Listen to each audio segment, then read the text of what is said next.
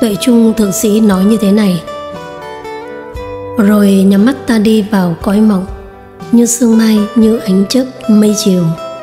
Sống tuy có danh nhưng không cần Không bám vào nó.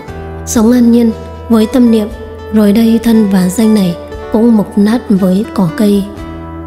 Nếu có tài Gặp cơ duyên thích hợp Thì đem ra phụ giúp cho đời Đem khả năng của mình ra Để phục vụ nhân sinh. Hợp thời thế thì làm Bằng không thì cũng chẳng buồn bã làm chi. Bất đắc chí độc hành kỳ đạo.